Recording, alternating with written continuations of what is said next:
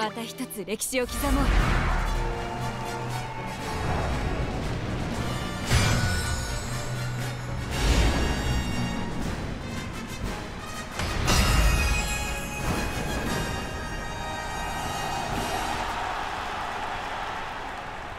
曇り空の下京都レース場芝 2200URA ファイナルズ決勝18人の馬娘たちが挑みます。このレース最も人気を集めているのはゴールドシップ1番人気です。2番人気を紹介しましょう。エルコンドルパサー春の三冠馬娘シンボリルドルフ現在3番人気。実力は間違いなく上位です。気合十分いい顔してますね。各馬娘ゲートに入って体勢整いましたスタート揃って綺麗なスタートを切りました。これは位置取りが熾烈になりそうですね。16番と18番この2人が競り合っているぞ期待通りの結果を出せるか。1番人気ゴールドシップ。18番先頭に勝ちました。2番手の位置で先頭を伺うのは16番激しい先頭争い。およそ5馬身開いてオグリキャップハッピーリンク内から行く第1コーナー回って第2コーナー。18番背長に飛ばしていきます。さあハナに立っているのは18番このままリードすることができるか。続いて16番2馬身3馬身開いてハッピーリンク4番手シンボリルドルフライスシャワー5番手オグリキャップ追走外を回って10番1馬身離れて4番そしてその後方にはエイシンフラッシュ少し後ろから13番さらに外メジロライオン第2コーナーを抜け向こう正面に入った順位を振り返っていきます。先頭を終えて18番1馬身リード続きました。16番その後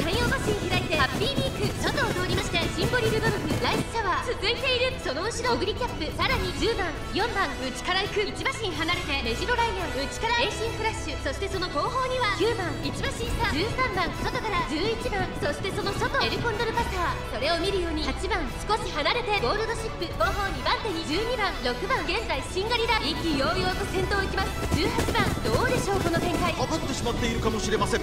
息を入れるタイミングがあればいいですが。第4コーナーを進んで直線へ向かう。勝負どころ最後の直線へとかけていきます。ハッピーリンクここで抜け出した。さあいよいよ直線だ。どのタイミングで誰が仕掛けるのか。まだ差がある。ここから先頭を捉える子は出てくるのか。栄光まで400轟け。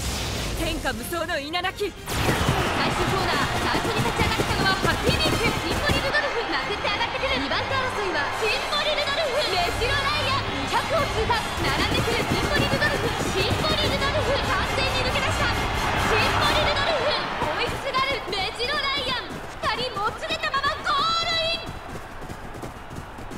シンボリルドルフ URA ファイナルズ決勝を制しました今ここに優秀たちの頂点が誕生です2着にはメジロライアン3着はハッピーミーク